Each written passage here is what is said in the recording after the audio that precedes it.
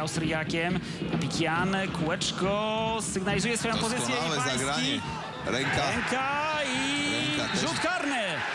Doskonała, Teraz ale mamy rzut karny. Sędzia uznał, że wyraźny ruch ręką w stronę piłki zrobił Jan tylko nie wiem, czy to było w polu karnym. Zaraz zobaczymy powtórkę. Natomiast e, chyba Żydko to był, tak mi się wydaje. Natomiast świetne zagranie Papikiana, który tak. zobaczył. Teraz proszę zwrócić uwagę Iwańskiego, który dobrze się tutaj włączył Ale w tą grę. wydaje się, że rzeczywiście piłka zagrana ręką przed polem przed karnym na polem 17 karnym. metrze. Tak, tak, tutaj błąd sędziego.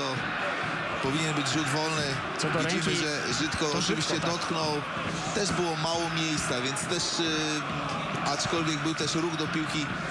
No ale przede wszystkim e, I przed szansą Było przed będzie 16 to. Marek Saganowski. Jeszcze ŁKS z rzutu karnego w tym sezonie gola nie strzelił. Teraz jest e, pierwszy i pierwszy w 2012 roku ŁKS obejmuje prowadzenie 1 do 0 jak widzieliśmy powtórce z pomocą sędziego, bo co do zagrania ręką Żylki nie było absolutnie żadnych wątpliwości, ale to wszystko miało miejsce dobry metr przed polem karnym.